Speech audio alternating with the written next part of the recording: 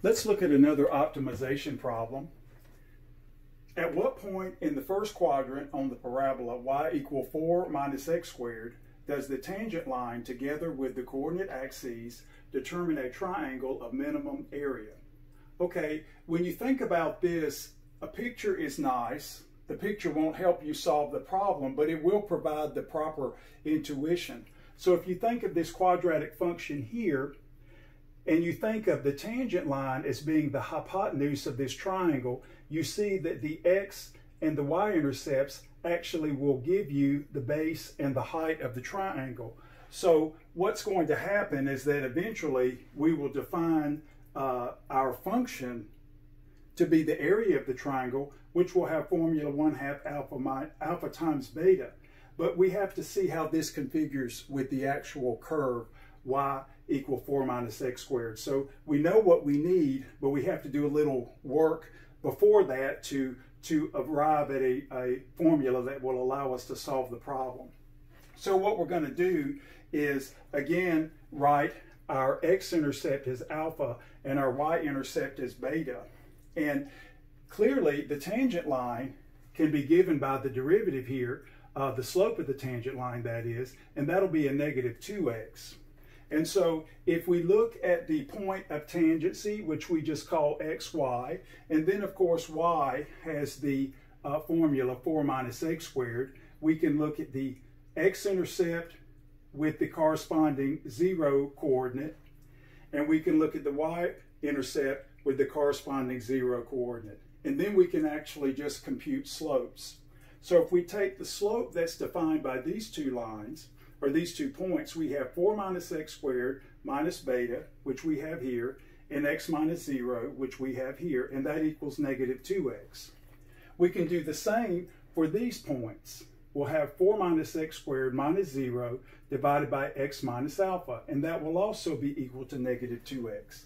Now, if you will, to find beta and alpha, we can simply cross multiply. So we cross multiply here by x and get a negative 2x, and then we can easily solve for beta.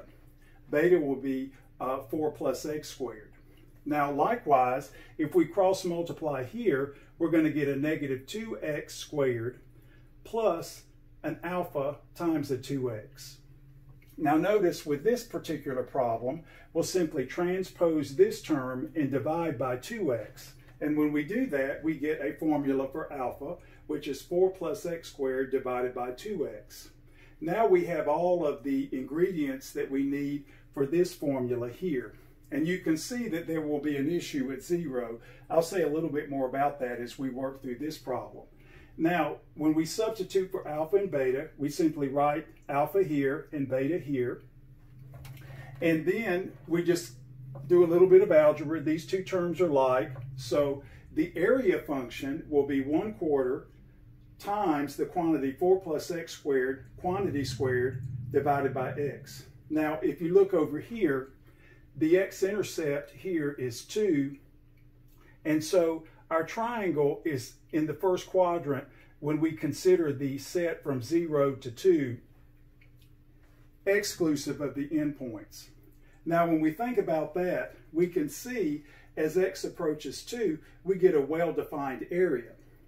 But as x approaches 0 uh, from the right, this becomes infinite because the tangent line is approaching a horizontal line. The tangent line here at this uh, uh, x-intercept is, is well defined. So there's no problem with that. So what we're looking here, we're thinking, okay, there must be an interior point here that will minimize the area of the triangle. This will not involve EVT because we don't have the endpoints here. So we don't have to worry about checking endpoints. So what we're going to do is uh, look towards uh, Fermat to look for a local uh, minimum that's an interior point. So that means that we need to look for uh, critical numbers, which means taking the derivative. So of course here we'll just apply the quotient rule. We'll have the uh, 1 4th factored and we'll take the derivative of the numerator times the denominator minus the derivative of the denominator times the numerator here divided by the denominator squared. Very simple calculation. And of course the 4 plus x squared is common in each term so we can factor that. And then, of course, what's left behind is a 4x squared minus 4 minus x squared, which reduces to 3x squared minus 4. And of course, to make this a little bit easier to factor, we'll factor the 3 from both of these terms uh, to get this term. And now, of course, this is a difference of two squares, and you're thinking, jackpot, we're, we're at the good part.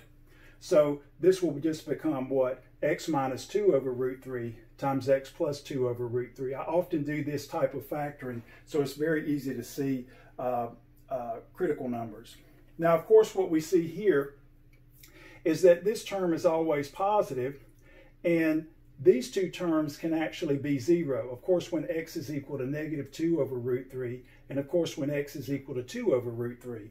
But as I've written here with the red arrow, uh, we'll discard this particular critical number. Not that it's unimportant, but it's not germane to the problem we're doing because this is not in the first quadrant.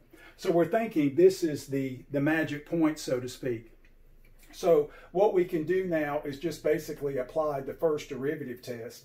Now we can do this symbolically, no need to look at decimals or anything like that. The only two sign changes would occur here. And so when we look at our domain of definition and we actually plot the critical number 2 over root 3, if we take a point here to the left, that just means that this particular factor here will be negative. All the rest will be positive. So we get a negative derivative or a decreasing function. And of course, if we take a test point here, this now is positive, everything else is positive, so we get a increasing function, and therefore decrease, increase, relative minimum. So this would mean that at this particular point in the domain, the area function is actually a relative minimum. Now the problem doesn't ask us to find the actual minimal area, but it does ask us to find the actual point of tangency here where it occurs. We have the uh, x value, which is 2 over root 3, and then we can just substitute that in here to find y, and you'll easily see that that's 8 thirds. And so now, as we look up here, it says at what point, here's our point, at this point, the tangent line together with the coordinate axes will create a triangle of minimal area. And we are done.